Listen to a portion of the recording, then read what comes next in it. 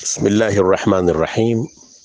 Assalamu alaikum warahmatullahi taala wabarakatuh. Alhamdulillah wassalatu wassalamu ala rasulillahi sallallahu alaihi wa alihi wasallam. Jambo la kwanza kubwa, walillahi alhamdu, tushukuru tushukuru uongozi wa Shadhili News kwa sababu Shadhili News kimekuwa ni kituo muhimu sana cha mafunzo na dawa kwa Waislamu wote, na tuseme ni kituo chenye bahati kubwa sana kwa sababu kimekusanya hazina kubwa sana ya ilmu.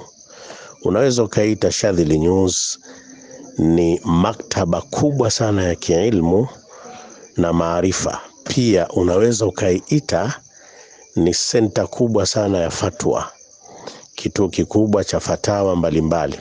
Hazina ya mashekhe waliokuwepo ndani ya Shadhili News ni fahari yetu, ni furaha yetu, haswa anayetaka kujua na kuelimika na kufahamika alazimiane na hii Shadhili News. Nikitafakari sana Shadhili News, nina ninaingia moja kwa moja katika maneno ya Huseini bin Ali bin Abi Talib pale anaposema alaika min alumuri bima yuaddi ila sunani salamati wal khalasi, yani lazimiana katika mambo yote na lile jambo ambalo linapelekea kwenye mwenendo mzuri na kuokoka na kupata kutakata mbele ya Mwenyezi Mungu Subhanahu wa Ta'ala.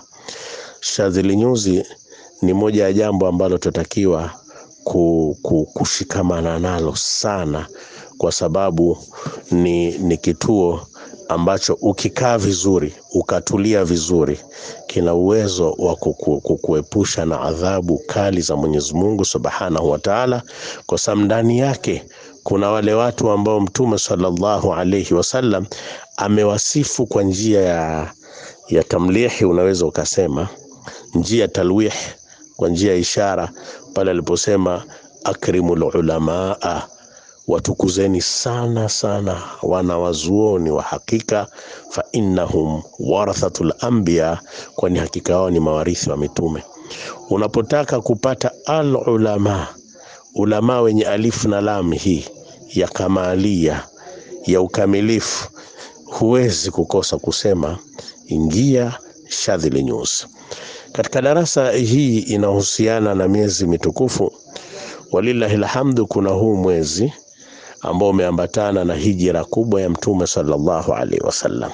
Tunapoangazia macho na fikra zetu katika hijra ya Mtume sallallahu alaihi wasallam, tunapata jambo katika maisha yetu ya kawaida kwamba pale dhiki inapokuwa kubwa sana na malengo hayafikii, ni vizuri uhame, kwa sababu ardhullahi wasia, ardhi ya Mwenyezi Mungu ni pana mno.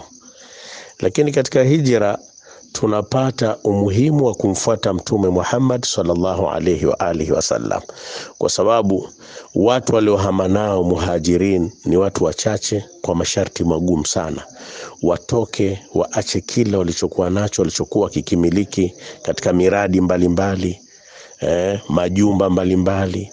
Hata baadhi ya familia zao na ndugu waachane nao katika mji wa Maka waende Madina lakini hijira hii ikakusanya jambo kule Madina pale walipopokelewa kwa tala albadru alaina, watu wakiwa na shangwe kubwa na furaha kubwa, wakishangilia sana.